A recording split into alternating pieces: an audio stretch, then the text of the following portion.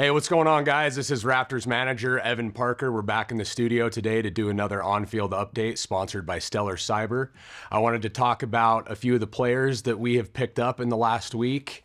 Uh, I had a pretty productive trip down to Florida. Uh, part of my trip was uh, for the Pioneer League tryout down in Davenport.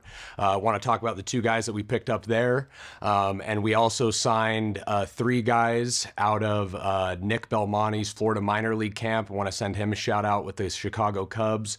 Would also like to mention and uh, send a shout out to Cash Beecham, our former manager, who uh, who is uh, still in the wings and helps me out, and uh, he's a great mentor for me. So the first guy that we picked up with the ninth pick at the Florida uh, Pioneer League tryout is Enrique Cruz. He's from West Palm Beach, Florida. He spent a couple of years with Joe Torre and his uh, traveling team setup.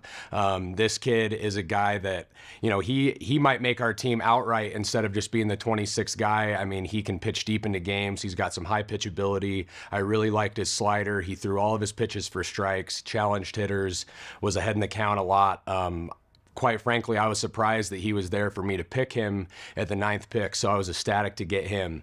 Uh, the next kid that we picked up is a kid named Bill Musser. He is from South Carolina, played his college ball at Wesley College. Uh, really good two-way player. He was 88 on the mound. He's pulled down 95 on a on a crow hop from the outfield, so I know that he has you know more in the tank to be able to offer on the mound. Had some good at bats at the plate. Big body kid, physical, great human being. Um, my uh, my want and what I want to do with him is that he is going to be the ultimate 26 guy at some point. I mean, this guy, I, I don't know if I'll find a better two way guy um, out of one of these tryouts. So, very excited to have him. Talking about the guys that we got out of the Florida minor league camp, the first guy that we got is Ethan Underwood, left-handed hitting uh, infielder, played at Young Harris, I believe, and this dude, I really like his swing. And there's definitely something to be said that the day after we put him under contract, he hit a home run, and uh, then he went out the next day and hit another home run. So he's really excited to be in Ogden. The next kid that we got is Jack Cohn. Jack played baseball at James Madison University. Uh, we had a shortstop play for us before before Fox Simones, who is also at James Madison. James Madison turns out a lot of good players. Jack is a left-handed hitting outfielder. He can also get on the mound, and he's been you know 90 to 92 before. So uh, this dude's going to come in here and help us win some games for sure. And the last guy that we got is Pierce Howard.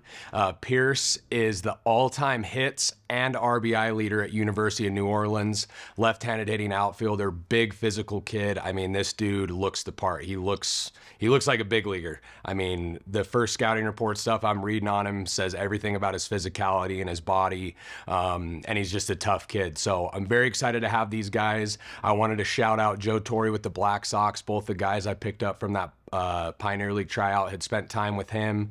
Uh, he does a really good job getting those guys opportunities, getting them seen. Um, we will actually be our first game of the year will be an exhibition style game with them. Uh, Trev, when is that? Is that the Saturday before the season starts? Okay, so we're planning on doing that. Probably seven innings at this point. Uh, fans can come out. I think we're planning on doing a knockout round to uh, to simulate the home run derby and stuff like that. So I'm really looking forward to it. I'm excited to have these guys. Um, we've got some pieces going on with roster management right now that we'll be back in in the next week to talk about. And uh, I really look forward to getting these guys into camp and seeing what everybody can do. So until next time, go Raptors.